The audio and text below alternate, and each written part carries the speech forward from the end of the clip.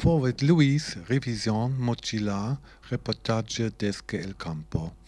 Las ventajas de Forward Mochila Luis. Mochila bueno, bonito diseño, hermeso en azul. Muy bien hecho, muy robusto y bien acolchado.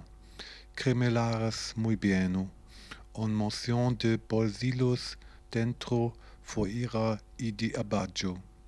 Detalle reflectante, bueno para patinaje incluye cata bordo. El precio es resemblante bueno. Las desventajas de Forward Mochila.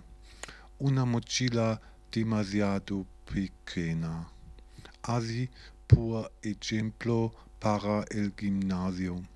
Para los premios de camp compras a viajar los fines de semana demasiado pequeños.